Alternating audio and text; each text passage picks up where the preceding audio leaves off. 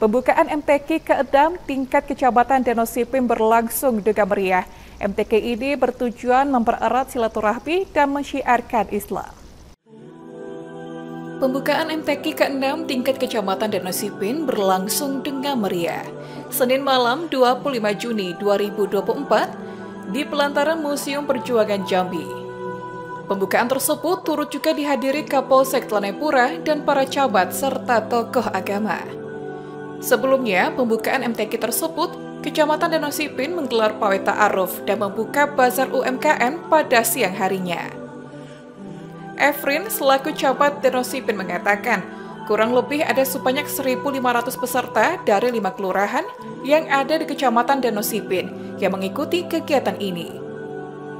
Sementara itu, Efrin juga mengharapkan agar MTQ ini berjalan dengan lancar, aman, dan tertib.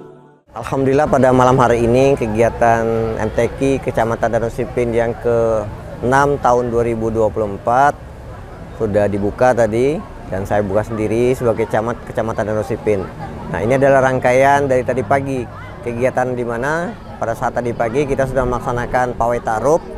Setelah pawai tarup tadi dengan jumlah peserta sekitar 1.200an dari putusan dari lima kelurahan yang ada di Kecamatan Danau Sipin Kemudian dilanjutkan dengan pembukaan bazar oleh Ibu Ketua Tim Penggerak PKK eh, Kota Jambi, itu Bu Sekda. Kemudian malam ini dilanjutkan dengan pembukaan secara resmi kegiatan eh, MTQ ke-6 Kecamatan Sipin tahun 2024. Artinya mulai dari malam ini eh, kegiatan-kegiatan rangkaian terus berjalan selama tiga hari ke depan dan insya Allah tanggal 26 uh, Juni 2024 malam akan kita tutup dan akan di sana nanti akan kita tentukan atau kita umumkan hasil dari kegiatan MTQ tahun 2024 ini. Kegiatan ini dapat mempererat tali silaturahmi, persatuan dan kesatuan. Selain itu, rasa kebersamaan juga harus terus ditanamkan dan memiliki satu visi mewujudkan kesuksesan MTQ. Heru Syaputra, Cek TV melaporkan.